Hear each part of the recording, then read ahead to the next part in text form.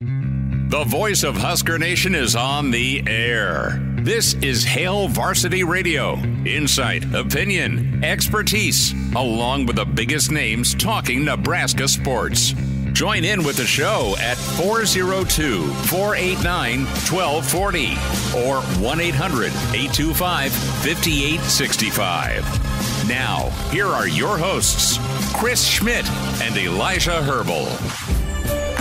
Welcome to it. It's a road show, Hail Varsity, here in Columbus, here at the Big Ten Sports Bar and Grill. Thanks to the great folks for having us out here. Made the road trip up, and, uh, well, let's just say it was interesting. Uh, unintentional carpool karaoke with the wife. I got to drive, it was her playlist. It wasn't sports radio. Uh, so I am uh, I, I'm jonesing for some talk. Uh, and uh, we have day one of spring football to get into. Numbers to dial up 489 1240, 489 1240, or can find us across the state here on the Hail Varsity Radio Network, 1 800 825 5865. Junior is getting uh, his baseball season started later on in the evening against Columbus. So we're up here. Uh, we'll see if he uh, has received a code red or not on the bus from his teammates. That uh, that may be warranted. But let me tell you about your friends here at Big Ten Sports Bar and Grill. 23rd Street in Columbus. So if you're in Columbus, hearing us on News Talk 900, you're invited out. Jeff and his bro are here, and that's awesome. Uh, they are uh, they don't have their darts ready, thankfully, uh, which is good. Uh, but listen, uh, they do have specials for you uh, here at Big Ten Sports Bar and Grill. Happy hour daily, three to five, Monday through Thursday.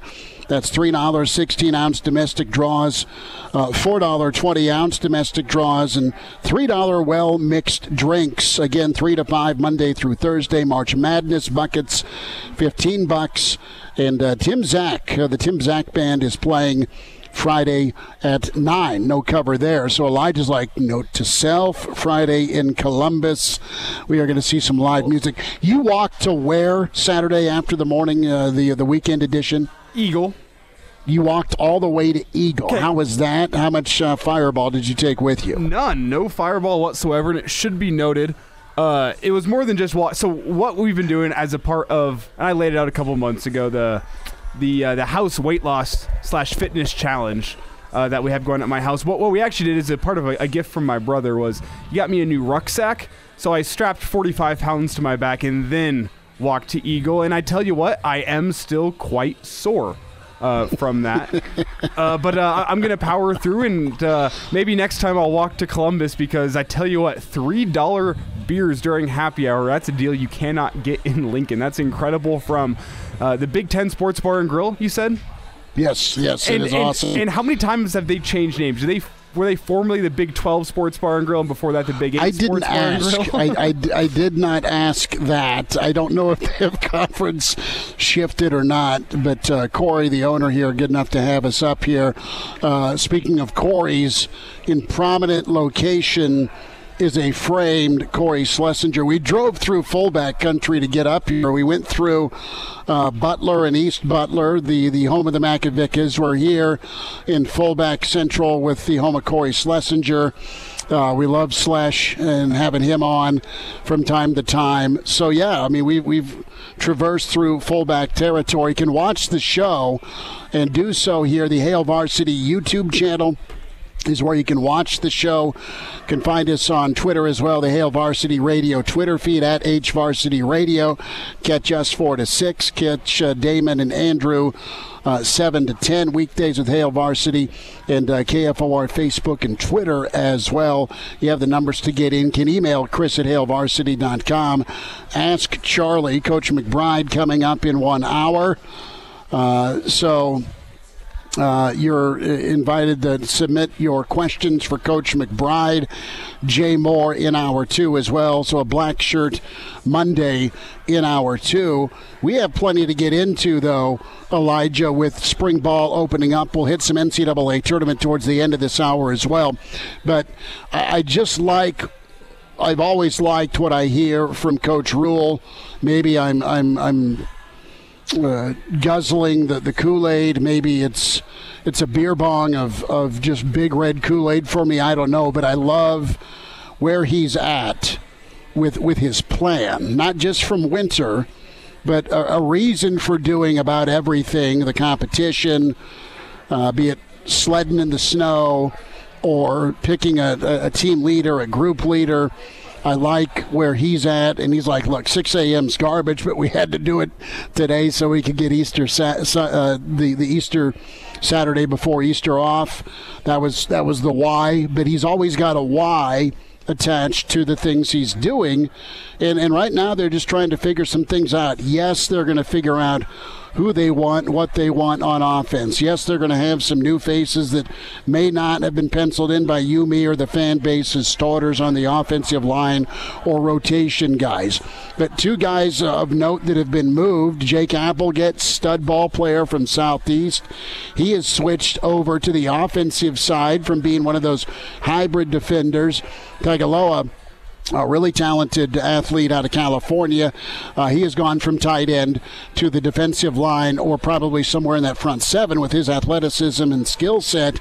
I mean, that's something that you look at. And, and Rhule touched on why he moves guys. This is where I think you can play and you can help the team. And if you don't want to move, you don't want to move. But there's some guys open to it. So. Uh, that's where Nebraska's at with the spring session, just day one but there's there's a method to the, the, madness here as we're out here at the Big Ten Sports Bar and Grill, 23rd Street here in Columbus, kind of caddy corner from the J.C. Penney, and uh, not far from the uh, the the old Panda Chinese restaurant. So swing on by if you're hearing us on News Talk 900. Doug Duda chimes in. Uh, Tim Zach is from Kearney, and. Uh, uh, Zoc, not Zach. Thank you, Duda, for saving my backside once again. We also had uh, but, Ch- uh, Chuck Cullen wanting to save your backside, saying you're not beer bonging the Kool Aid, it's the Rhule Aid. He wanted to make sure you got that. Thank you, Chuck, for that. Uh, yes. But hey, spring break is over. We are going to put our, our beer bongs down and go to work, and that's what Nebraska did today. Let's hear from Gabe Ervin. We'll hear more from Coach Rhule in just a moment.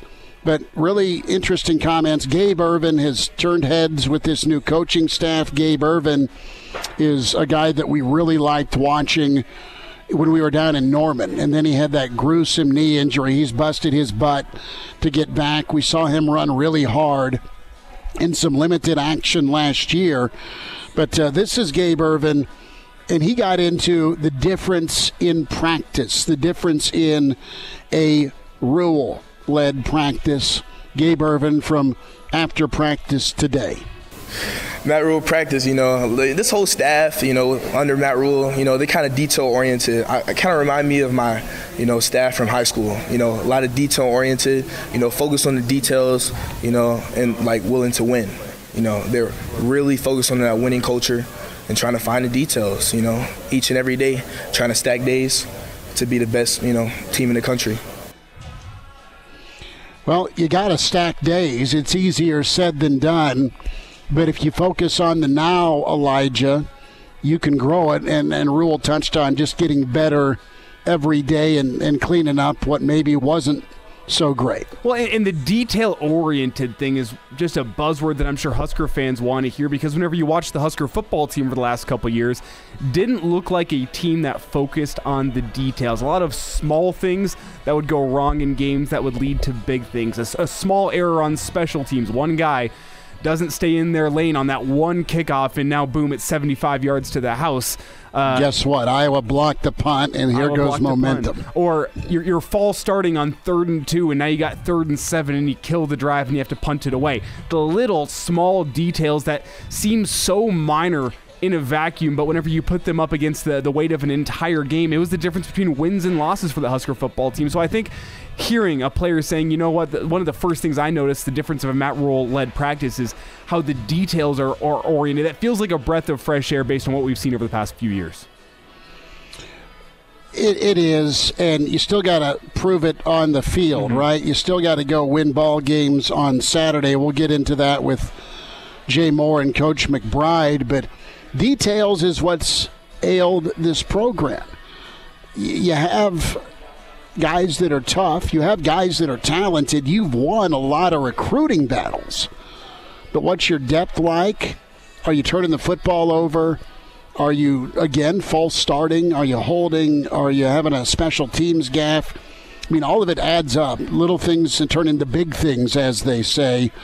And it's interesting to see where Nebraska can go in now 14 practices. Let's hear a little bit from Coach Rhule as he spoke after practice today. And uh, this is Coach Rhule here, day one of practice, cut two, as he kind of laid out the, uh, the plan and what this first day was all about, and, and then kind of zooming out here what, what they want to get accomplished.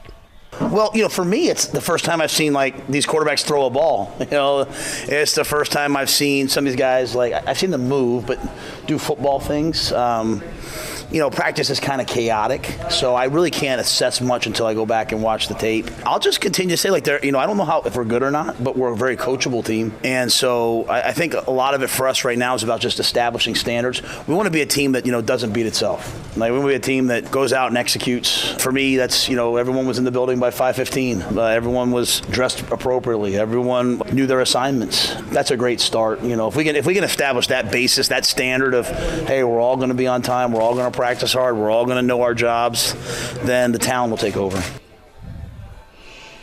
Again, little things, but things that are mandated, things that are mandatory. Are you, Elijah, are you dressed appropriately for radio? I mean, right? I mean, think about that, that hands on micromanagement, but this team needs it when you think about what it is or what it needs to be in the Big Ten compared to what it has been almost there, but they're establishing the standards not to bury the lead. We are getting to uh, the running back situation with Anthony Grant.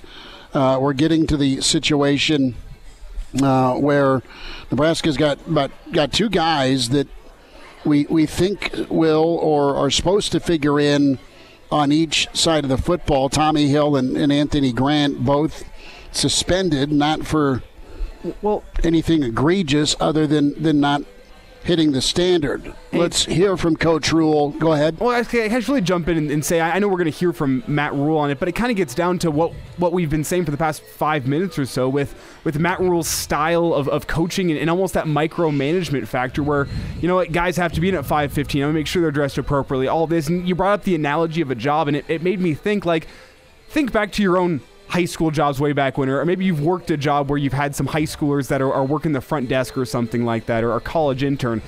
Think about how you have to micromanage those individuals, those people, until they earn the trust of, of their managers, of of corporate, of whatever. You earn the trust, and that's how you lose the mm-hmm. micromanagement. And that's what it feels like Matt Rhule's in the process of right now. Is I'm going to continue micromanaging these guys and and uh, Tommi Hill and Anthony Grant are included in that. They're all going to be micromanaged until they're living up to that standard, until they reach the point where they've earned the trust that I know they're going to live up to that standard, even if I'm not micromanaging them. And it kind of feels like right now we're still at a point with this team where everyone's getting micromanaged, but as these weeks and months go on, we're going to start to pull away, and fewer and fewer guys get micromanaged. But this is the style that Matt Rhule brings whenever he comes in and takes over at a job.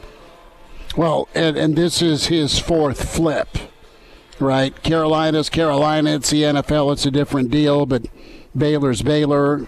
Temple was Temple. He's good at this. He knows what's worked, what maybe didn't go so well, and there's there's comfort, and there's almost dare I say an expertise with this because he's done it so often and so much. Well, here on the other side from uh, Coach Rhule here on, on the running back room because he was pretty glowing about that. Uh, more comments from him on guys that are suspended right now. Thoughts on the tight end room. A little bit more from Gabe Ervin. Uh, as we wrap up this detailed segment, uh, Brennan's right. I mean, he's building leaders, and, and as a leader, you've got to model what you want in your program and how you want to lead it. So that's uh, important. He's there at 6 o'clock. If the rest of the crew needs to be there, so be it. Uh, Brennan also chimes in on, on your your ruck backpack. I ordered one. My wife ordered me one. It's not as as, as vicious as yours. It's a 20 pound one. Oh, it's still helpful. But I got it.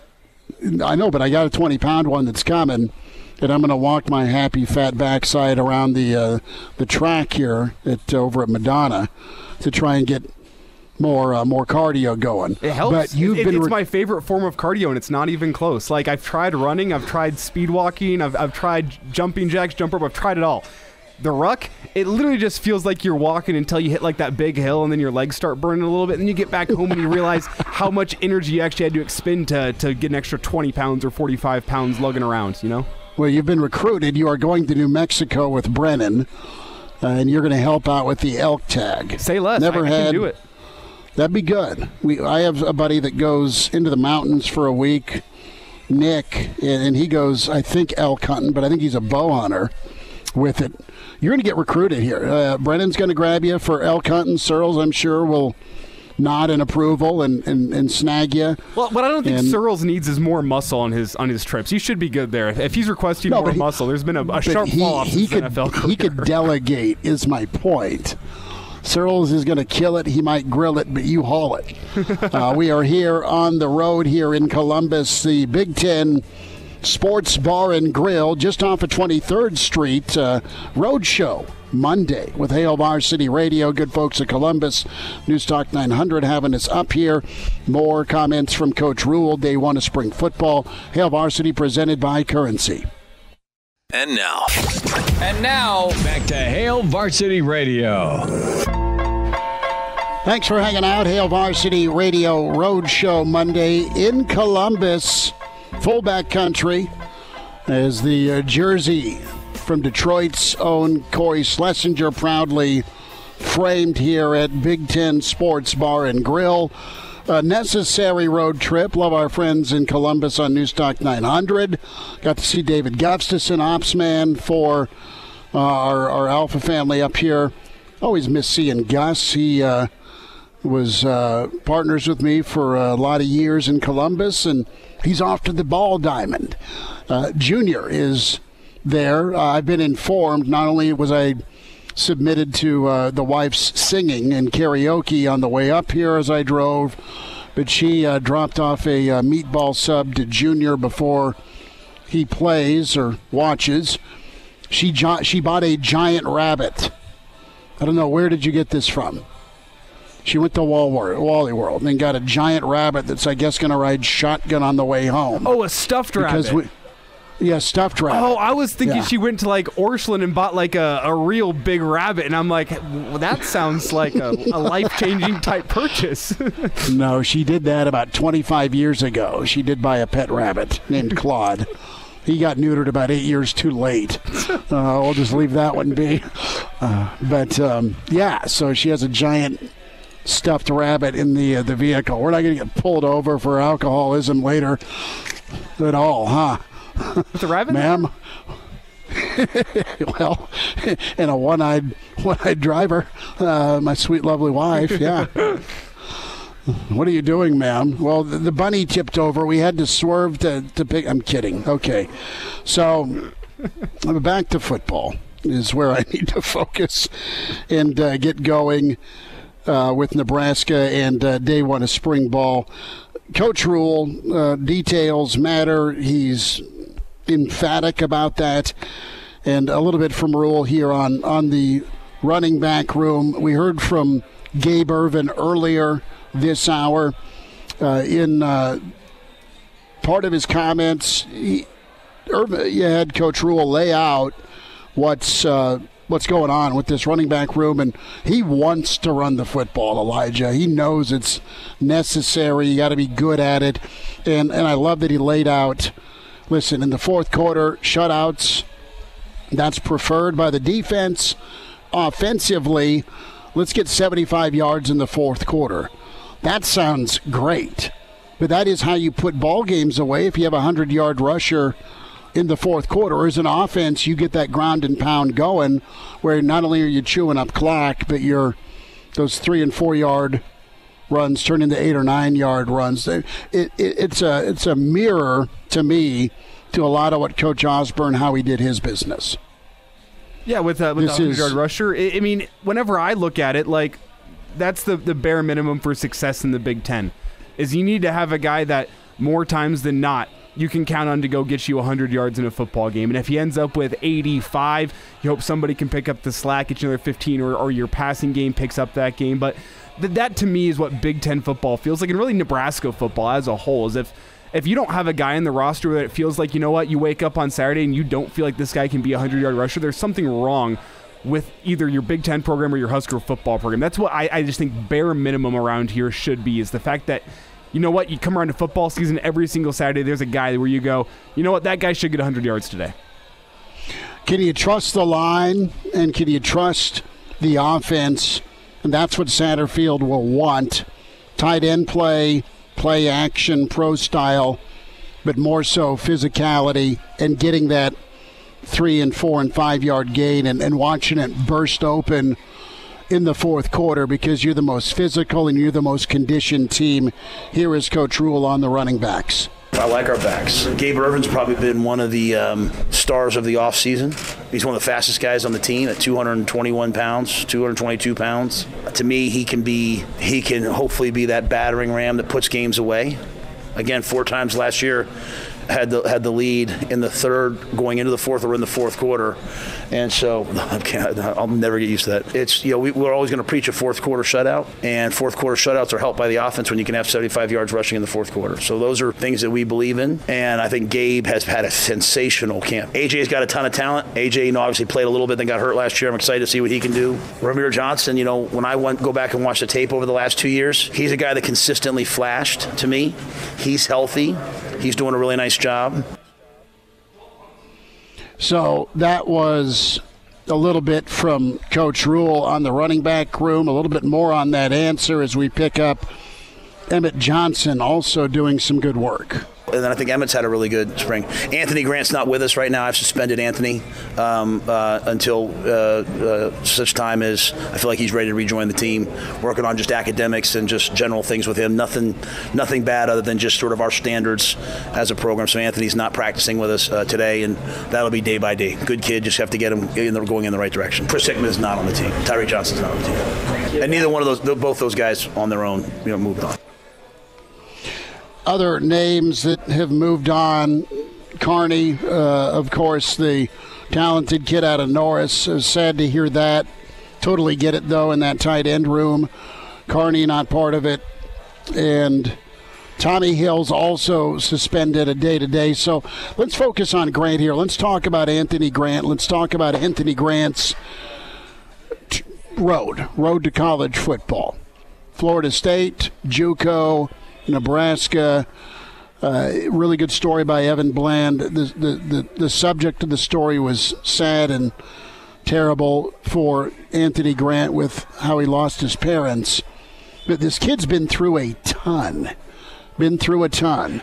And you don't know by name who some of the either rah rah or projected leaders were in winter conditioning. We, we don't know who was elected a captain or picked to be a group leader. We don't know who is removed as a group leader, leader other than somebody was, okay? And and now you have a come to Jesus here where you're suspended. You're suspended from spring activities. There's Ajay Allen, there's Gabe Ervin, there's Rahmir Johnson, there's Emmett Johnson, and you had a guy in Anthony Grant that the first half of the season just earned about every yard on his own. There was some games the line was okay, but as the year went on, it looked like he was a shoe in to be a thousand yard rusher, Elijah, and that didn't happen. And then you had Grant trying to do too much with some jump cuts instead of running into contact, trying to just bounce it outside because there was not a lot of faith that the hole was going to be there. There was just not much cohesion between the offensive line and Anthony Grant. Anthony Grant's an NFL running back, super talented guy. And again, Coach Rhule would not keep the guy if he didn't think he was what he said, a good kid. But what we don't know, but what, what's been allowed to slide in the locker room or by previous staffs that now, all right, you've maybe been warned once or twice, and now you're suspended. That's the hard line that you have to take if you're Matt Rhule. There are other options, and there's other potential starters there to take Anthony Grant's job. So he's got to decide if he wants it or not. I, I hope it works out and turns around for him because he's a he's a good dude, a talented kid, and he's been through a lot.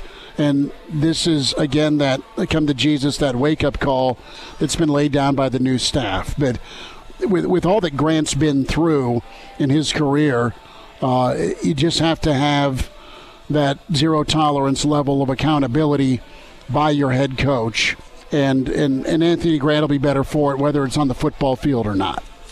And that's that's my take as well as like the suspension itself. It, it's so far the first day or, or, first week of spring practice. We'll see how long this lasts for, but it, it seems to me of just being more of a a message to him and a message to the team as a whole that you know what, there's things in life that are more important than football, and uh, I know that he's I think he's saying like Anthony like I, I, know you've been through a lot here but we have our, our, our, baseline standard here and it's it's not about how good you are as a football player it's it's about building you as a man first and then as a football player and we're going to build those aspects hopefully in continuity I think it's more about sending a message and saying you know what I don't care how athletic you are. I don't care how talented you are. You're going to meet the standards of, of the Husker football team, and and it, it, doesn't matter what's happening off field. Doesn't matter what's happening on the field. We have a standard you have to meet, and you're going to meet that. I think it's a little bit about sending a message to the rest of the team. And obviously, it's about sending a message to Anthony as well. But uh, I don't think we as Husker fans should read too deeply into this situation here unless it becomes some sort of prolonged absence.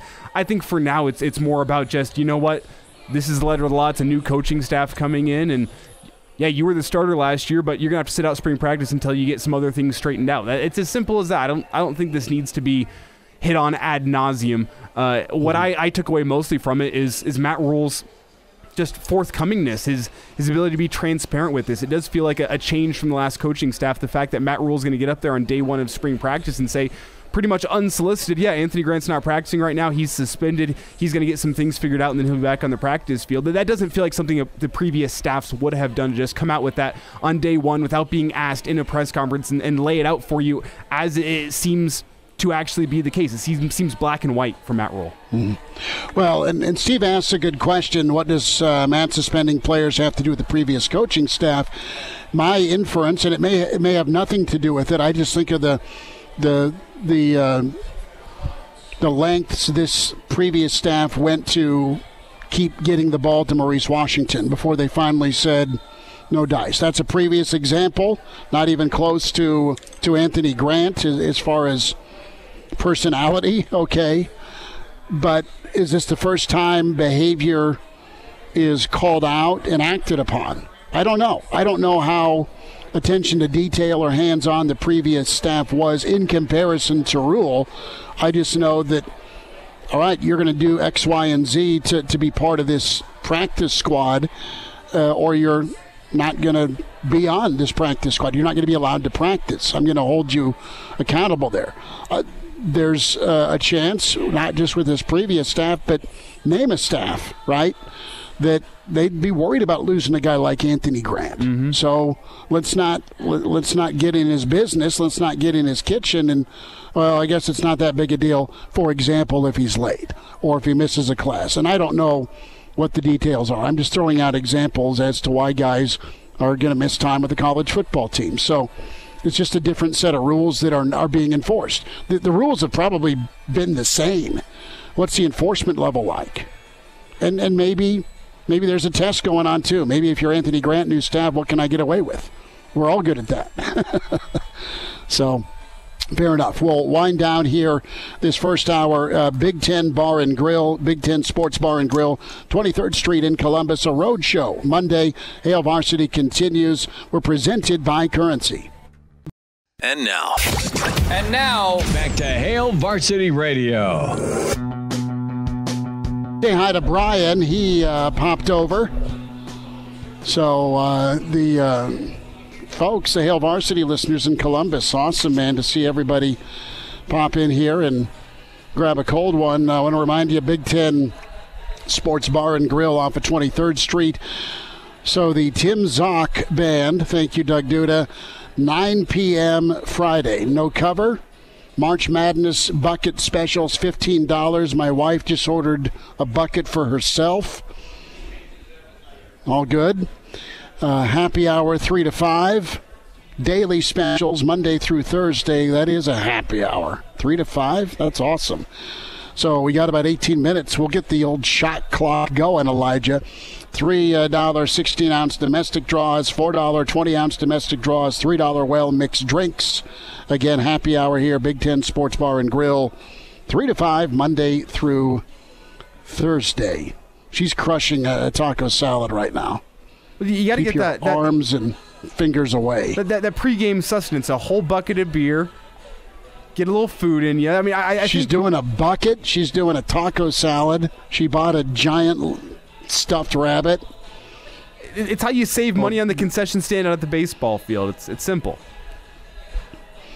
Yeah, she's going to come at me with a sharp object. NCAA tournament. I found the one bracket that's accurate. It's on the wall here at Big Ten Sports Bar and Grill. Let me ask you this. It's a real serious question. Were you cheering for Creighton yesterday? Were you cheering for Creighton yesterday? Gonna say yes, absolutely. Loved what I saw. And some of you might be going, you goon.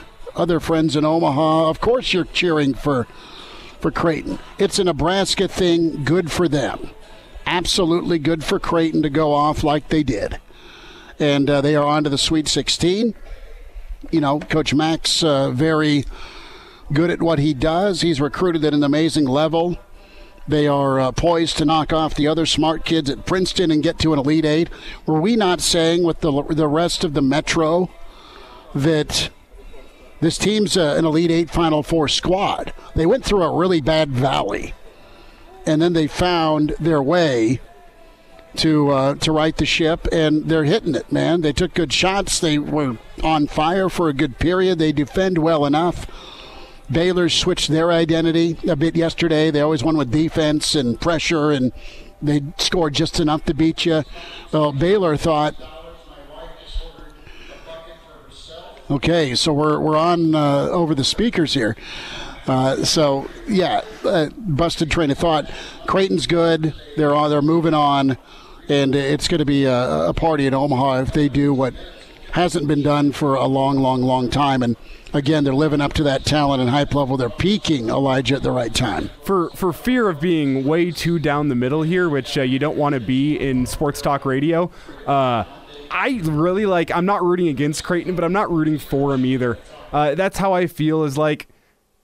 I understand where the, the, the anti Creighton people come from, but I also understand where the J Screw people come from. And it's, again, a down the middle take. But, like, yeah, when Creighton's on, on TV, I will watch that game before I watch the other games. I will follow along and see what Creighton's doing. If Creighton loses at the end of the game, I'll have a take ready for the radio, but it's not going to make me sad in any way, shape, or form. If Creighton wins, I'm not going to celebrate either. I'll be happy for my friends who root for Creighton. I'll be, yeah, congrats you guys. You get to watch team in the Sweet 16. Wish I could say the same, but, like, Creighton to me is is is just I, I don't know. I, guess I don't have enough time of day to, to focus on Creighton and Husker athletics all the time. So I don't root against them. I don't root for them.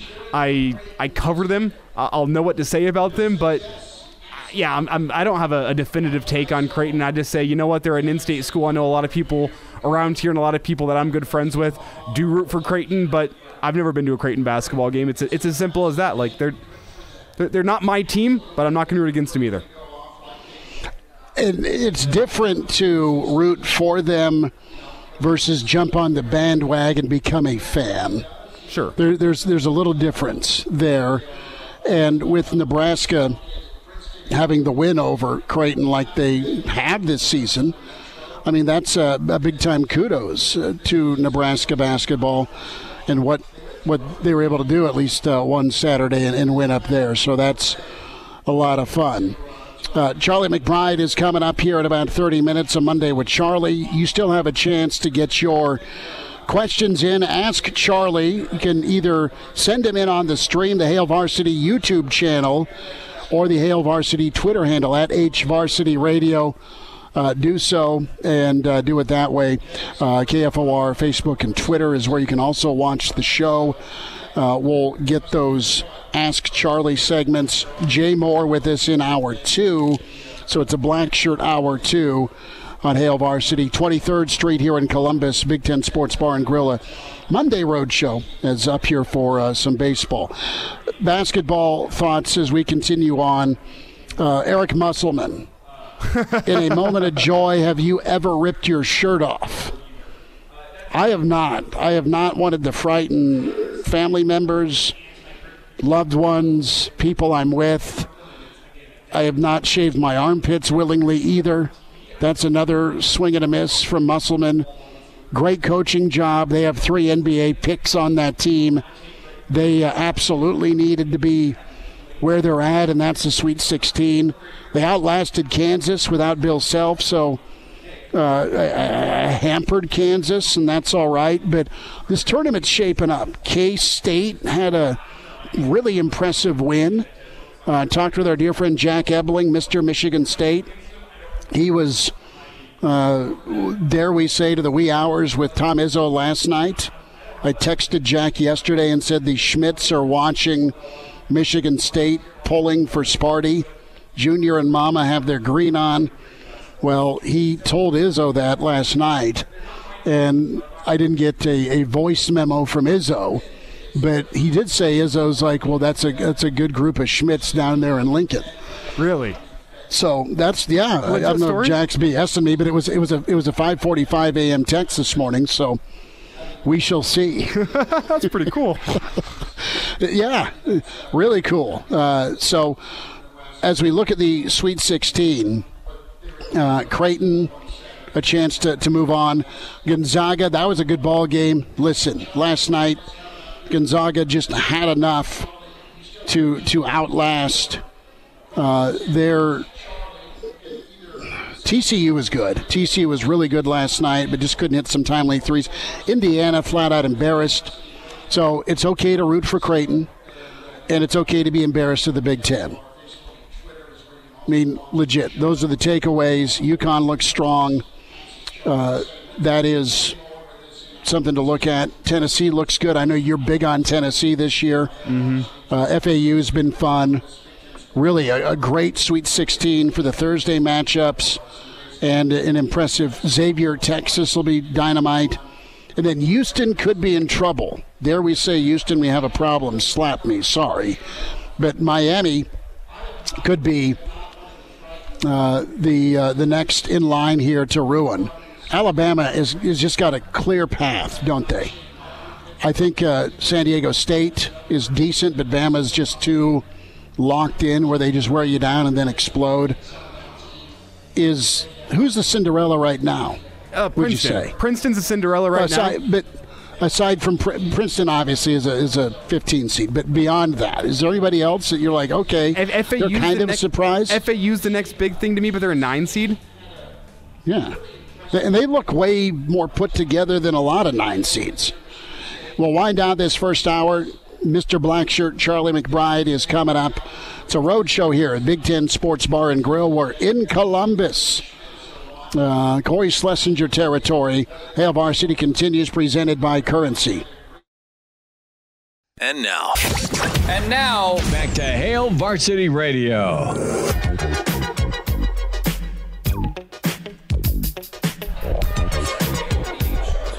We are back here, Hail Varsity Radio Roadshow Monday. We're presented by Currency for all your equipment financing needs. Go Currency. Big Ten Sports Bar and Grill, where we're at on 23rd Street. We've had um, more and more folks pop by, which is great. Uh, really awesome happy hour here. I've not partaken. This is, despite what Elijah's betting, this is just a cherry Coke. It's not. Uh, rum and diet. Well, then that, you'll, you'll that's be, uh, You'll be glad to know that this is not a water bottle full of vodka. It is, in fact, a water bottle. Uh, it was actually, here's your fun story. This water bottle I'm holding, you can see it on live stream. This was intended for Governor Jim Pillen. He didn't touch the water, and I was getting thirsty last segment. I was eyeing it over in the studio because uh, Jim Pillen comes in for the uh, the monthly annual or the monthly Yeah. Governor's Call-in show in the studios. Mr. Pillen, uh, the here. Pride of Columbus. So right through the window, I see this water bottle staring at me, and I go, That's that's, uh, that's supposed to be Jim Pillen. That's a powerful water bottle. That's the governor's water bottle. So I brought in. It's now Elijah Herbel's water bottle. And So uh, you're going to go to e- you're going to go to eBay. Somebody back in the day, I think, would swipe either Pelini's Mountain Dew bottle, and it would end up it would end up on YouTube on on um uh, shoot. Help me out. here. eBay. Fa- eBay. Now it'd be like Facebook Marketplace or something, probably. Right, but the but you're not drinking out of Pillen's water bottle, are you? I don't think he opened it. It was it was still sealed. Oh, well, I just just hell, who cares? I'm thirsty. We're just gonna take a pull here off of Pillen's water I bottle. have an immune system for a reason. It's doing it. Well, of course. I mean, you, you're rucking a 45 pound uh, backpack to help me out here. Eagle. Eagle and back. Uh, not back. No, the, the, the car ride took us back. Oh, there was a so it wasn't a round trip. Oh It no, that'd be that'd be way. like that'd be like damn near a marathon. I'm not. No, I'm I'm still fat for that. That's no. Dude, it's fine. It's fine. Well, uh, we invite you out here. We're going to have to do something in the future uh, to get back out here to Big Ten Sports Bar and Grill in Columbus. Great folks. A lot of fun to, to see uh, different listeners pop by. And Charlie McBride is 10 minutes away. Ask Charlie. Submit your questions to Coach McBride. What do you want to hear from Coach Charlie? And uh, do that here. Can do so on the Stream Hail Varsity YouTube channel, the Hail Varsity, Hail Varsity Twitter feed at H Varsity Radio as well. Uh, a couple of simple ways to do that. We are able to, to see the correspondence that way. And Scott uh, chimes in with uh, the suspension talk. We spent time on Anthony Grant. Appreciate Scott tuning in to me. The suspension says the team uh, playing is a privilege, and if certain standards aren't met, the privilege will be taken away. I like so. That's a That's a, that's a really good take, and and rules said it as much himself. Playing's a privilege, and and he started some of his different media sessions that way. Uh, reminder about getting buckled up. Your friends at the Nebraska Department of Highway Safety Office. Use your seatbelt. It saves lives. It prevents injuries only if properly worn. Buckle up. A message from the Nebraska Department of Highway Safety Office. Brennan uh, says, I once took a Christian Guzman half drank water bottle. I felt weird for saying that now. Half uh, half drink is different than unopened. This is now opened by me, Nick, but Nick is throwing shade. You know what I'm saying? We'll just leave that one float right there. Hour two on the way here in Columbus with Hail Varsity. The voice of Husker Nation is on the air. This is Hail Varsity Radio. Insight, opinion, expertise, along with the biggest names talking Nebraska sports. Join in with the show at 402 489 1240 or 1 800 825 5865. Now, here are your hosts, Chris Schmidt and Elijah Herbel. Back with you, it's hour two. It's Hail Varsity Radio Road Show Monday here at the Big Ten Sports Bar and Grill, 23rd Street in Columbus. Hope you're doing all right. Thanks for popping by. Uh, great uh, lineup here at uh, Big Ten Sports Bar and Grill. Tim uh, Zock, the uh, band is playing Friday at 9. March Madness buckets on special. Again, the wife went through a whole bucket of beer herself. Happy hour 3 to 5, Monday through Thursday. That is 16 ounce domestics, 20 ounce domestics, $3 well mixed drinks. Going to be a black shirt hour two. Jay Moore coming up. We welcome in Mr. Black Shirt. Another Monday with Charlie, Charlie McBride with us. Coach, are you you still enjoying the sunshine down in the desert? How you doing? Uh, well, I'm I'm doing good. It's it, it, it's kind of like Michigan.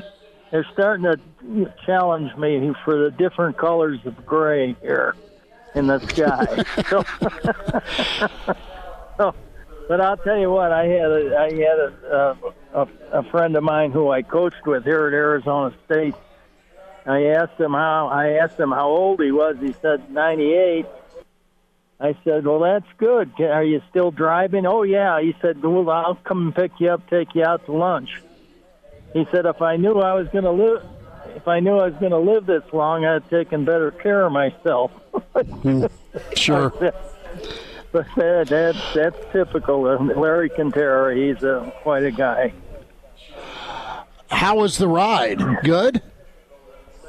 I didn't know he's going to pick me up some other day. He's got busy today. The guy's uh, an amazing person. He uh, he had, I think, Andy Reid and Bill Callahan and the guy that coached up at the Vikings and all on one staff at when he was the head coach at Northern Arizona, and he had pretty good staff there. So, you know, he he's still going. He was down in Florida with his grandkids, you know, last week. So he's 98 and still rolling. Hmm. That's awesome. Charlie McBride's with us on Hail Varsity Radio. Coach, it was day one of spring football.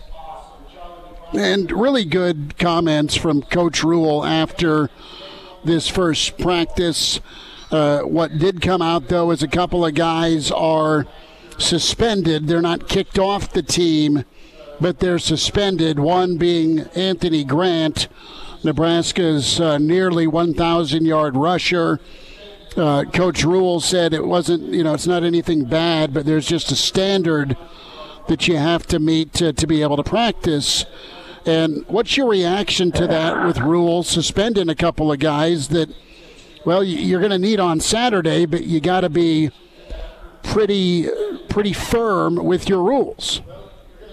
That's right, and and that uh, doing it quick is a, a good way to get it started. I mean, not that you want it to happen, but um, uh, the other players will see what's going on and maybe you know you know take it for what it's worth. I mean, it's it's uh, showing that he isn't going to fool around with them, and I think with the numbers right now, you know, there's everybody is dispensable, I think. But uh, that's a good. I, I, I agree with him. Well, Charlie, I want to get your take though on on suspending a guy for a practice. I mean, it's 6 a.m. on a Monday, and I'm sure those guys still had to be around the team facility this morning, but. Does that necessarily feel like a punishment to these guys? The fact that you know it's the first day of spring to be practice, up at 6 a.m. You, you maybe get a, get a sleep in a little bit longer. You don't have to go get uh, your head taken off at 6 a.m. by a defensive lineman. Like, is that a punishment, really? well, well, depending if they don't, if they're trying to get them to class in the morning and going quick, it's kind of a rush job. I know in the summer we had uh, during summer school we had seven o'clock workout when we, when camp started, and um, when we got done, we were going to move it to nine fifteen or something like that. And the players didn't want to move it; they wanted to stay at seven and uh, you know they get a little more rest between practices that way. So you never know. Charlie McBride's with us a Monday with Charlie. It's Hail Varsity Radio. We're here in Columbus, Nebraska, the Big Ten Sports Bar and Grill uh, Road Show Monday. So, Coach, did you ever surprise a player? Either checking up on them or just show up unannounced to make sure they got the point. Uh, I, I, guess is what I'm asking uh, to uh, to make sure they were they were doing what they were supposed to be doing. Well, I don't. I I think you know you set your rules out early, and uh, you know sometimes I remember the captains are repeating the rules to the kids. I mean, in the first meeting, they actually read the rules, if I remember right, and uh, you know sometimes it's a little more uh, straightforward when the when the captains are doing it. Um, you know, reminding them what are some of the things you know, and it it it it adds up a little bit uh, more. I think you know, kind of talk with coaches. It's kind of like after a while, your parents saying the same thing over and over and over again. it gets a little old. so but I mean, I think it. You know, the, the way they the way they're doing things right now, it seems to be, you know, clicking pretty good the way it w- went, and I I don't see any you know anything that's you know it's going to cause any problems. Charlie McBride is with us here at Hail Varsity Radio. And Charlie, when you look at the start of spring practice, a lot needs to happen between now and the end of April. And and I want to get your take from a coaching perspective. How how do you transition from winter conditioning to spring football effectively? Is there, in your opinion, a right and a wrong way to get into spring football? well, the, the thing now is when you have a new staff, it's the, the learning process is is really going to probably be really important as far as as far as their uh, playing too time, uh, because the guys that can learn it the quickest and are the better players are naturally going to be, you know, the guys a step ahead. Uh, so they they may be. Uh, uh, we've done it, I think, a couple of ways. We load them up for example, during the spring, just go like heck and do the best you can, and then they will, uh, you know, kind of remember it in, in the fall. Remember, we did that. Uh, if you don't, they have you have to start teaching in the fall. So, you know, it's your if your schemes and your your offensive plays and so forth. You know, plays have a lot to do with the backs and the linemen with a lot of footwork stuff. And I mean, it can you can know the play, but you know a lot of times it's how do you get there is is important too. So, you know, it's it's it's you know sometimes it can be a little rough, but uh, and confusing to them because they may know the plays, but they're they're fundamentally they're not doing a good job, or vice versa. Coach, I want to ask you about a couple of guys that are switching sides of the ball. You've got Tagaloa, that was a defensive. He's now on the defensive side of the ball, but was recruited as a tight end, uh, pretty athletic as a tight end. Where do you think he could fit in this front this this either the line or the linebacking core. You also have Jake Appleget. He's a really long and explosive athlete from Lincoln Southeast. He was uh, kind of that that hybrid safety type prototype to me, a lot like a Gifford. They moved him to. Uh, they want to move him to the hybrid fullback role. Touch on just switching guys to a different side of the ball and how that can really help out both uh, the offense and the defense. Well, it's if you go back and look at uh, Miami when they were noted for their speed and a lot of the things uh, they they brought in a couple of real athletic tight ends and and played all of a sudden they're playing defensive ends and I think one of them ended up in the NFL, but that that can happen very quickly. Uh, um, Terry Connealy, you know, uh, was an offensive lineman to start with, and I went across the field and grabbed him and just pull, pull him over, you know, to, to that side, and he ended up being a heck of a player for us. So there's a lot of guys. I think Jason Peter was an offensive lineman. Some, you know, uh, he I think he played some offense when he was in prep school before he came to Nebraska. So it's it's uh, you know sometimes it's a better thing um, I, I mean, just me coaching, change positions, it gives you a new light. It gives you new, um, you know, energy and uh, to learn the stuff. And, you know, if you're excited about it, now I moved Eddie uh, Stewart from strong safety to the linebacker, and he's ready to cut my throat. So, you know, that that could go on. And he, you know, he wanted to be a strong safety. Well, but he was such a good tackler, and he was had some great quickness. Better, he had better quickness really than he did speed. I mean, he was fast, but uh, to be a linebacker, he had he had really had good instincts, and you could tell that, you know, from playing the line, uh, the strong safety position that he played when he came. And but you know, sometimes you're not loaded up at a position, and you just have to find a guy to get over there because you don't have anybody that that's really proven. And sometimes there's those guys that are on offense or defense or you know and and can move to the other side of the ball without a problem. And again, it's an intelligence thing too. Coach, I think from a, a, fan's perspective, maybe from the media perspective as well, a position switch kind of feels like the last chance for a player of like, well, you didn't work out at tight end, so let's try you somewhere else. Or you didn't work out at safety, so let's try out on offense. From a coach's point of view, is that necessarily the case? Well, that can happen. I mean, you know, I don't. To be honest with you, I can't remember, you know, guys doing it happening uh, so much. But maybe, uh, you know, it can happen. I think that, uh, you know, you could actually maybe move a couple of times. I I know that for a fact, a lot of guys, if size wise is a factor, you could move. We could have moved a couple of guys that were pretty big defensive ends inside very easily and they had been moved, say, from offense in the first place. So that would be almost two moves that they you know, they've made. And uh, but I, I Kenny Walker would be a good example. But they tried him everywhere, you know, they could, and and uh, they they they started. He couldn't pick up the the checks during you know during the game Mm-hmm. And so Tom just uh, didn't know what to do. I said, well, let's make a defensive lineman out of him, and we did. And we were doing a lot of slanting, and our anytime we changed our front, uh, Pat Engelbert at that time was the nose tackle. He would just hand signal them, and, and they had. I told them, you make up your own signals between the two of you, and don't let me tell you what they are. You two do it to together because it was easier for Kenny to do it that way, I think. Mm-hmm. And uh, and he he he. I only remember one case where it didn't happen, and if you look at the film, you'll see Pat chewing him out all the way to the sideline after the series was over.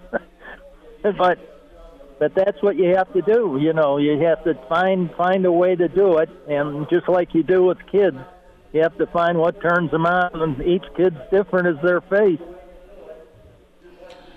Coach McBride with us a Monday with Charlie. It's Hail Varsity Radio. Coach, we're going to get to the Ask Charlie segment, and our friends at uh, Go Big Redcast submitting this to you. Uh, question for Charlie: uh, What when Nebraska switched to that four-three from the five-two? Coach, what was your process like for the other guys on staff to learn the scheme? team and and, and coaches? Well, the, the the thing is, is well, we did take we did take one done defensive lineman out of the game, you know, and we put another linebacker in there, so you got a speed factor right there uh, on it. And you really, we really only had two true defensive linemen, and the speed factor came when we moved these guys from say in the secondary the linebacker, our only true linebacker, if you go back and look, uh, say Jay Foreman, for example, you know, strong, big kids that can, you know, have good instincts, put them in the middle, and they they could take care, of pretty much take care of the inside, and drop mm-hmm. in the in the what we call the hole, basically. It, uh, and uh, so our only true, really true linebacker was. Uh, was our middle linebacker, and the rest of them we kind of re- we recruited as strong safeties and guys that could really run. Uh, and a linebacker, if he could really run, he would be a Sam Backer for us. But uh, really speed guys, quick guys would play will linebacker for us in that in those days. And and putting the hand on the ground for guys like Trev, say for example, when he came, he was a stand-up outside backer, and all he did was put his hand on the ground, and it gave him more time to rush the passer rather than dropping. Hmm. Charlie McBride with us on Monday with Charlie. Coach, we're going to holler at you next Monday, and we'll get ready to do this again. It's always fun to talk some spring ball with you. Many thanks for making time with us, and continue to enjoy that Arizona sunshine, all right? Well, they can make two practices out of one, you know. You want you're you're, you're advocating for a two a day. maybe, yeah, maybe they're going a little longer now with that extra hour. I like it. I like so, it, Coach. You take care. Best to you and your family. Okay. All right. Thanks for having me, guys. I'll talk to you next week. Bye now. All right. All-State, two-year starter, and rush in for the Big Red and NFL vet. Is Dudeness or uh, Duder or, uh, you know, El Duderino if you're not into the whole brevity thing. It's Blackshirt Jay Moore with Hail Varsity Radio. Back into it, it's Hail Varsity Radio Roadshow here in Columbus at the Big Ten Sports Bar and Grill. We welcome in Blackshirt Husker NFLer Jay Moore to the show as spring football is kicked off. And if you're watching video, Jay is. Brother, do you launder that stuff, or are you a, a master at ironing? Because it, it's a crisp white dress shirt, but no tie. How are you doing? good. Uh, full disclosure, no, you got to uh, you got to get the shirts now that are made of out of like more athletic material. They don't wrinkle and they wash better. So you just got to up, got to do a little upgrade. That's that's where I've gone, and they they just feel better. Those old cotton, you know, button ups, those those those don't feel very good on. So you gotta gotta venture out and get the new the new uh, upgraded stuff. Note to self: be 6'5", 240, and still bricked. Uh, I wish I was 240. well, he, has got a point though. Like the the stretchy jeans, the stretch fit jeans. It oh, started out. It started out as jeggings, and, and, then they found like a better in between. It changed my life for the better. I, I didn't want to wear okay. jeans until they made the stretch fit. The athletic wear stuff is it's changed the world. 100%. That's that's very fair. Uh, I don't know how to transition this into spring football, but the, the the topic of feeling better, right? That's what you want going sure. into spring and after spring if you're a Nebraska football fan. As, you know, Coach Rhule met uh, the media this morning. A few players talked as well. And Jay, who knows if, as as Coach Rhule put it, if we're any good, to quote Rhule. But the guys are are coachable. That's huge. But two, man, it just seems like he's got a plan from step one through step five with where he wants his football team to go, at least from a direction standpoint. That it's all sounded good. Yeah, I think that's he knows he has a process, and he's had to use this process. You know, this is if you want to count Carolina Panthers. I mean, I'm, I'm just uh, this is his fourth time of instituting his process at a new place. We all know Temple, Baylor, uh, Carolina Panthers, and now Nebraska being his fourth one. So he knows what he what he what he wants it to be. He know he's been through this process before. Whether it was at Temple, it was at Baylor. I don't know if he can count. The NFL is such a different animal. I, I can't even like put him. Can't really even count that because it's so vastly different.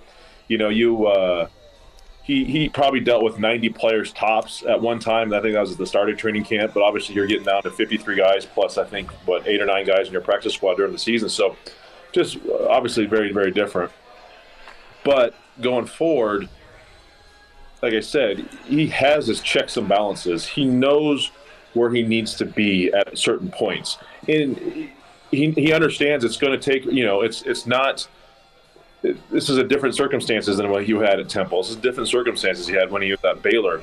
But I think he knows at certain points throughout spring ball, throughout training camp, and throughout the season, he he thinks his team should be at a, at a certain point, and if it's not, then those those I don't know if you want to call them uncomfortable conversations need need to be had, but something needs to change or something needs to uh, be tweaked or do something because obviously you got to be at certain expectations, certain levels to be a successful football program. And he's been a part of many, many uh, successful programs. So I don't doubt his process whatsoever. I just, I just don't know off the, you know, I, I don't know if this is, if it, I mean, what he had at Baylor when he went to year one at Baylor, that's, that's, again, that's, that's, that was, that was something that no one ha- has ever had to deal with. You know, maybe getting, you know, 45, 50 guys on scholarship and you arrived, arrived on campus after the Art Briles situation. So I think going forward, though, he, he knows he, he, he knows the process. He knows the structure. His coaches knows what they expect out of out of, out of, out of them as well. So I think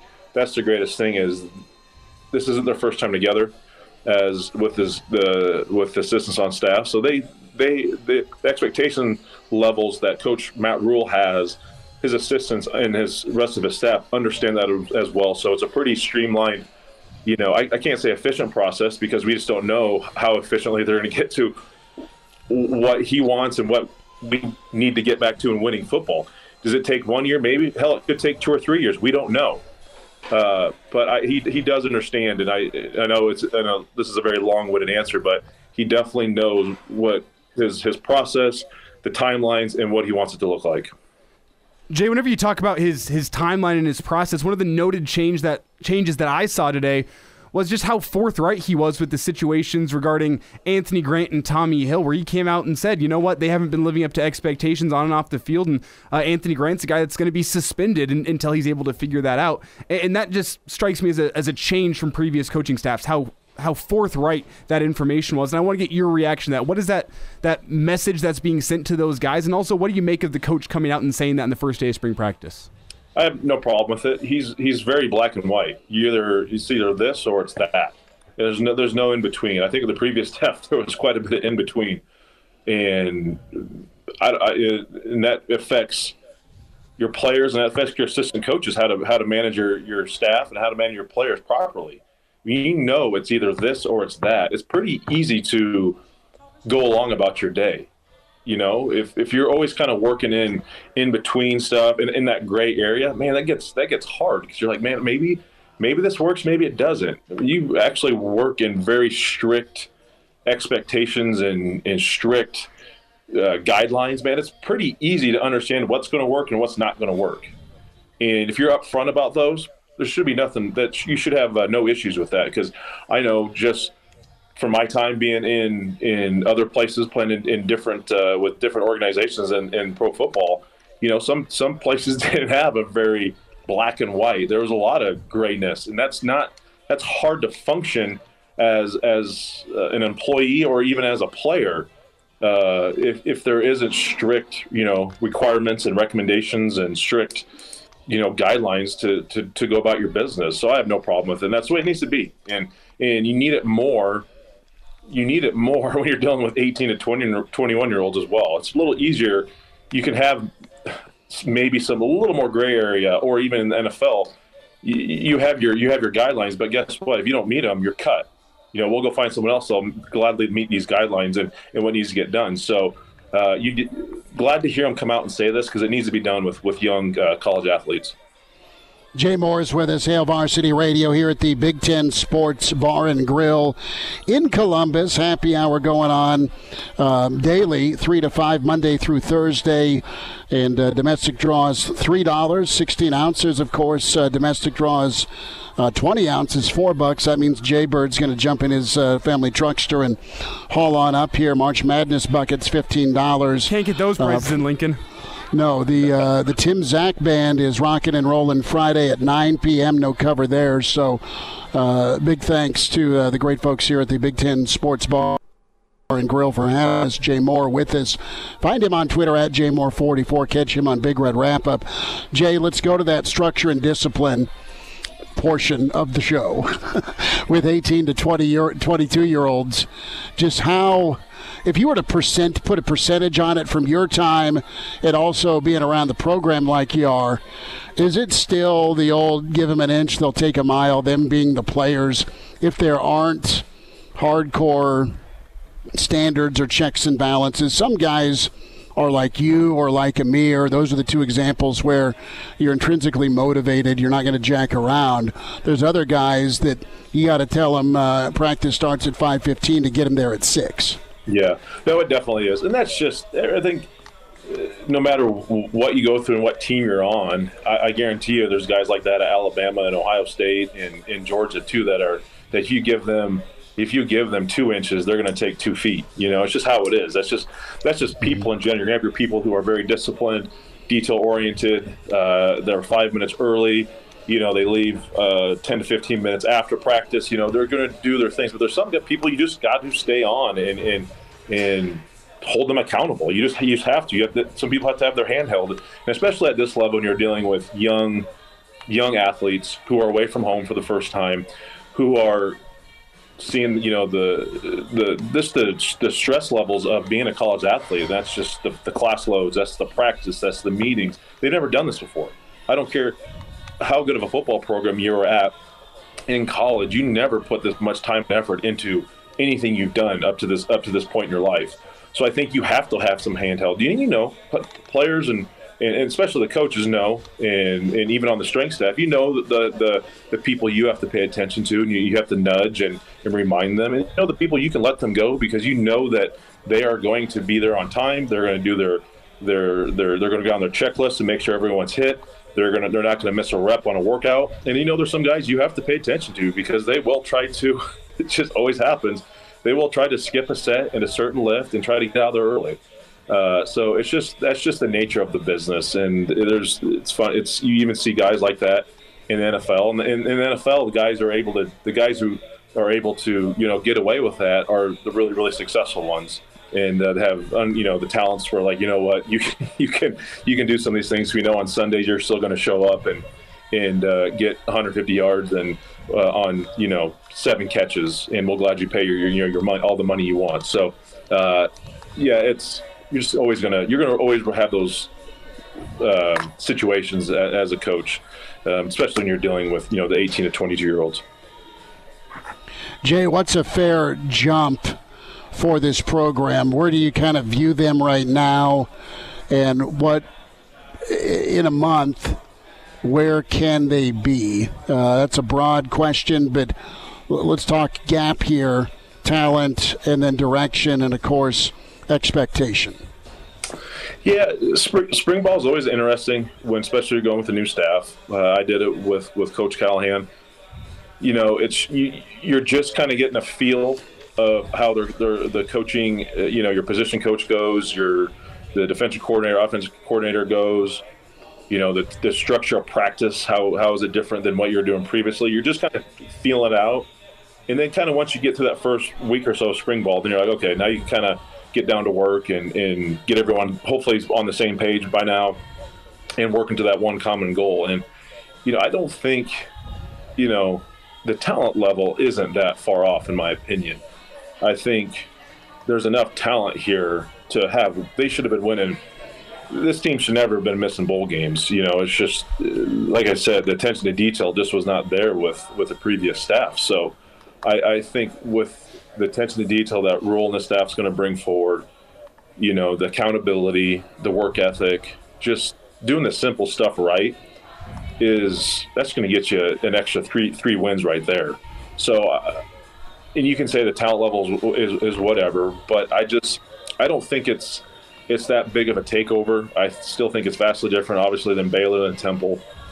Uh, I think it's, you know, he, like I think he said it best. You don't go into Iowa, you know, and keep them from going to the Big Ten West or have become the Big Ten West champion, you know, and and and beating them in Iowa City, and you have no, there was no really value. To, I mean, other than your pride, but it wasn't like you, you knew that was your last game of the season. There was no bowl game, so I, I think the talent's good enough. I think the mentality, the mental toughness, the the, the character value of this team is, is is definitely good enough to where you know you start going through spring ball, you go through summer conditioning, you go through training camp, and uh, a seven and five season next year should not be out of the question. That shouldn't be.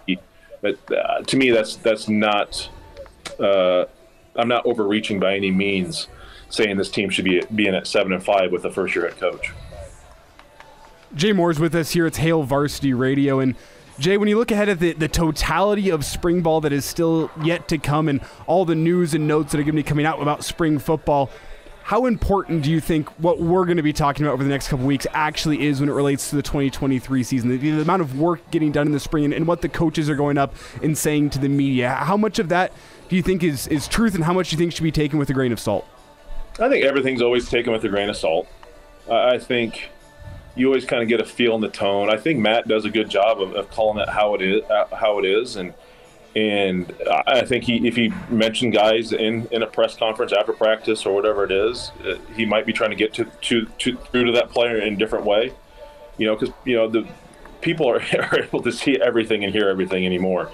You know, this long gone are the days of you have to find a newspaper to see what uh, your head coach said about in, in a post game, you know, or post practice conference. So that could be one. But I always think there there is a there's a grain of salt with with everything, and especially anymore, just in in the media.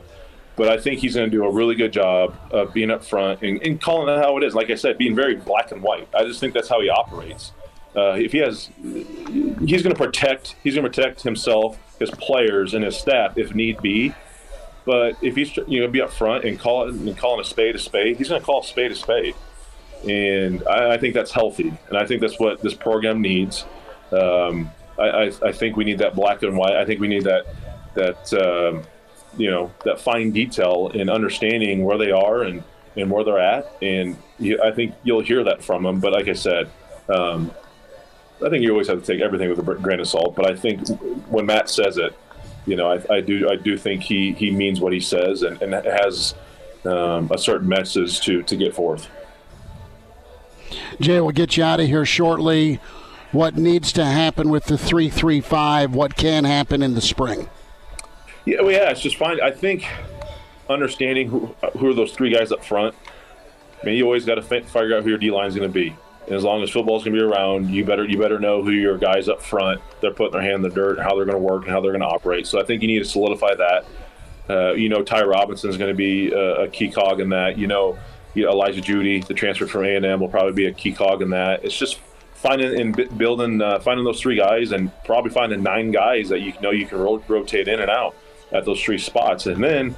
I think it's a little easier to identify who your linebackers and your secondary is going to be I think that's probably more of your where your strength the team and the defense has not only has been not only last year but probably this year as well. So I think finding those roles is just identifying what is expected of you at that position and then just you know getting better every day and just under, and just you know identifying every day what you need to improve on from the, from everyone that in that standpoint and just cause I mean we know the 335 is, is going to be is uh, is a chaotic, crazy. You know, you might not see, uh, you might get seven different looks throughout you know throughout the game. So uh, I'm excited to see the process, but again, you got to figure out who those you know those six to nine guys are going to be playing up front for you guys for on Saturdays. Because if you don't have those guys, then those you know the the eight guys behind you, they don't they're not going to matter too much. What's wins ceiling? Man, that's you know that's a good question saw sparks out of him. You know, last year again, he just got to he's got to become more consistent. I think he didn't come in the best of shape last year. I, I believe there was. I don't know if he missed some of uh, summer conditioning. I can't. I know he was a little out of shape when he came in here, but the guy's got the tools, and he you saw good flashes out of him last year. It's just becoming more consistent. You know, I think you get him. I think he could be a day one starter. I, I, I really do, just because he was able to show some results and, and show you know that he's he can play in this conference last year at times. So I think if he can mature, develop, take to new coaching, take to what you know. Um, like I remember I was pot roast, the D line coach. Um, that take you know his his knowledge, his breadth of knowledge. Uh, he can be pretty good. I don't. I mean, I don't know if he's you know a, a first day NFL draft pick by any means, but I think the guy can can play on Sundays. He's got the build. He's just got to do it more consistently. Jay, whenever you look at some of the older guys on that defense, Wynn included, but I also look at, at Ty Robinson, Luke Reimer, Quinton Newsome, just to, to name one from every level of the defense. How important is it through spring practice to get one or multiple of those guys stepping up as leaders within the defense as you flip into a new 3-3-5 is that going to be important right now in the spring or is that something that as you get closer to fall and as you get closer to first game those leaders will start to emerge on, on their own accord no, I think I think they've done a good job of identifying the leadership through winter conditioning. I think they they wanted to establish that first and foremost. I do know spring ball helps solidify, helps validate, because there's always one thing uh, you can become a, a, hoot and holler and, and a rah rah guy during workouts, but man, as, as soon as you got to go against someone else, and uh, it's it's it's always interesting to see those leaders come out in certain situations when you know your your sense of pride can get taken by by another teammate, and it gets rather competitive. So it, that's gonna be interesting to see. But I think you coming out of uh, coming out of spring ball, you're gonna know your leadership your leadership is gonna be, and then you're gonna have those communications through. Then it's gonna even validate more through through uh, summer conditioning. And then it's then once you hit to uh, training camp when it's it's go time and you know we got to get ready for the season, you you know you know those I don't know, four, five, six, hell, ten guys. I don't know who could, how many guys could be out there, but you know who you got to rely on and who you can you can communicate with and who you can lean on to kind of raise some guys out of out of uh, you know some sticky situations or even you know the dog days of training camp when it is you know the second week and it's the tenth practice and you know you're you're tired of running your head against each other for for the last 10 days man it's you need those leadership to step up and and really speak to what's important and get to everyone kind of back back to focus on you know what really matters. Jay Moore's with us, Black Shirt Husker NFLer at Jay Moore 44, co-host Big Red Wrap Up, and uh, joining us on a Monday as we're live here in Columbus, Big Ten Sports Bar and Grill. Jay, we'll let you get back to it, man. Thanks for squeezing us in, and uh, we'll uh, expect more of that wardrobe uh, showcase here next week if we uh, if we run you down. I appreciate that. We'll make this into a regular Monday fashion show, I guess. I have real fear that Jay doing a fashion show would be like the opening scene of Slapshot with a uh, a fashion show. Have you uh, you seen Slapshot yet, Elijah? Uh, yes, but not like I, I couldn't quote it. I couldn't quote Hold on it. a minute. Uh, one more time. You, okay, I Yes. didn't have you up all the way. So you've seen Slapshot, where the the owner of the Charlestown Chiefs has his players also doing a fashion show. Oh yeah. Okay. Yeah. Yeah. Right? And and one of the defensemen who can just rock the goatee fancies himself an enforcer, has choice wor- choice words for the owner, and then frightens everybody in the front row. Because he's wearing a robe. Jay wouldn't be wrong like that, but I don't, I don't know that we walk down the old fashioned show choice with uh, with with black shirt Jay. He could pull it off. Well, if we if you Uh, and I if you and I came in next week just wearing something crazy, something that that's fashionable. I mean, we got the whole video streaming portion now. We, we could do a little a little streaming fashion show. I, I like it. I like the idea. Well, in true major league fashion, you've got Charlie Sheen's character with the uh, the leather vest and uh, and just the tie, no shirt. I look like a banker in this. We'll wind down a Monday Hail Varsity Radio road show here at the Big Ten Sports Bar and Grill in Columbus. And now, And now, Back to Hail Varsity Radio. One final time, a tip of the cap to the amazing folks here in Columbus, here at the Big Ten Sports Bar and Grill. The great listeners uh, in Columbus News Talk 900, the Cory Schlesinger Shrine, the, the jersey from uh, one of Nebraska's greatest fullbacks. It's been awesome. It's been awesome to meet uh, folks in Columbus. It's Been awesome to be on the road. We will play the Pete Rose game what are the odds with Junior and his baseball team today? I think Junior's got a very talented team he's on. Uh, I think it's a 50 50 coin flip with whether Junior plays or not tonight. We'll see. I don't know that he pitches. And uh, we are going to, at a conservative estimation, say he goes. He goes over three tonight, Damn. but walks once. Damn, harsh What? start to the season from you. It's your kid you're No, and if I'm about. wrong, it's okay. It's okay. I know. Well, he thinks I'm a horrible father, clearly, and I'm, I'm, I'm, you know, going up. He doesn't want me to sit near him uh, at, the game, so I'm gonna have to sit out in right field. You've seen that thing on Facebook, right, where the the kids' parents where they're set. Yeah, the, the little graphic that has the the stereotypical which type of parent sits where. Yes. Uh-huh. Helicopter overbearing loser father out in right field. Once I'll be there by myself. Uh, there'll be the uh, supportive but silent parents along third or first baseline that just are there to watch uh, their son perform well. And then you got the pitcher's dad right behind home plate who thinks everything's a strike. Oh. Don't forget about him. Right, and, and this coming from an umpire. what are you looking at, Blue? No, I get it. I get it. Road show today, road show Friday, as uh, we're at the Hail Varsity Club in La Vista.